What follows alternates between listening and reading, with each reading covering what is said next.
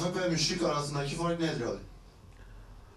E, Yakışıklı münafık Müslümanların içerisinde yetişir, her türlü bilgiyi edinir ve bunu Müslümanların aleyhine küfürle ve müşriklerle ittifak ederek e, ömrü boyunca kullanmak ister.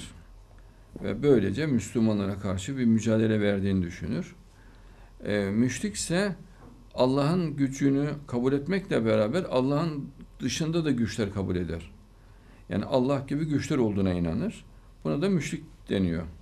Mesela ilacın Allah gibi güçlü olduğuna inanılır. Mesela küçük bir ilaç diyor ki bu baş ağrısını geçirir.